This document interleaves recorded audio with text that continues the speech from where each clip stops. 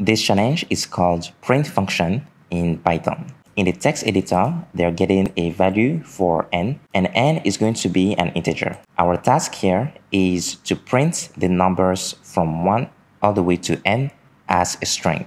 But they say here we don't have to use any string methods. So for example, if n is 5, right here in this example, we need to print the string 1, 2, 3, 4, 5. And they said here again, we need to print the list of integers from 1 through n as a string without any spaces. This is how you can solve this challenge. Here I have a string called numString. It's a variable, but it's a string because this is being initialized as an empty string.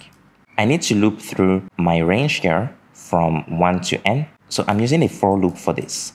And I'm saying for every number within the range of 1 to n plus 1, and I have n plus 1 because like I always say, the n's here is not included in the range. So now that I can access every value within the range of 1 to n, then I need to append that to my string. So here I'm saying numString plus equals, meaning I'm adding a value to this existing value here, and I'm going to append a string value.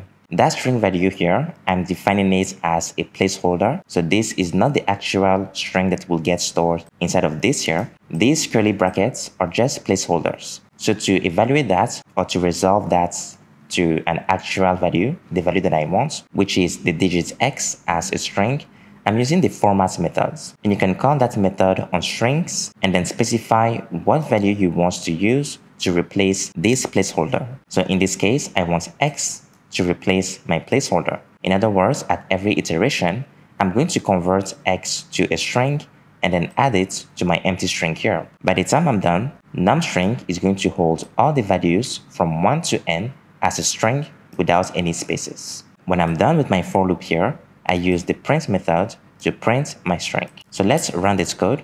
We've passed the sample test case. When we submit it, we have a couple of other test cases. So from 1 to 10, we print all the values from 1 to 10, with the ends being included in the range. So that's it for this HackerRank challenge called print function in Python. If you like my video, Please subscribe to my channel and I'll catch you next time.